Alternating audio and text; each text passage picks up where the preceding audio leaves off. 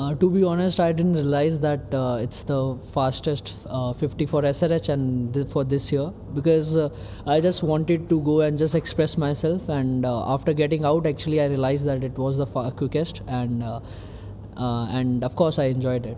I think the message was pretty much simple for all the batters in the meeting we had before this match that everyone just go and express yourself and because that's that's a very positive message from all the if you get it from your captain and coach i think that's that's really a support uh, supportive for all the batters if they're gonna bat. And i think uh, for this match also it was pretty much same. Just go and express yourself. Even when i when they batted i was batting with uh, travis and uh, he's my one of my favorite batters. Uh, so i really enjoyed batting with him no, I wasn't actually because uh, I got to know yesterday only. So I was most uh, I was mostly prepared for this uh, th- one down also. So it was pretty much okay.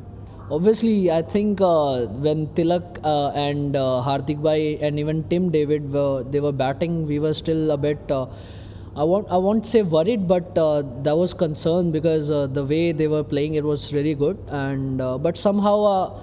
Uh, for me personally, I knew that uh, our bowlers they were very well uh, prepared for this kind of situation. So and they executed really well. So I'm happy. It's pretty much simple. I've told before also that Cummins and uh, Dan they have pretty much simple uh, plan for the uh, team that go out and express yourself because that's a very positive message for all the players. I would say that because. You had a tough season yes, last year and once you're meeting them that we were worried that what's going to happen some change is going to happen but we were very much happy with the team. And uh, even there i think the energy and the positivity they've brought to this team is really good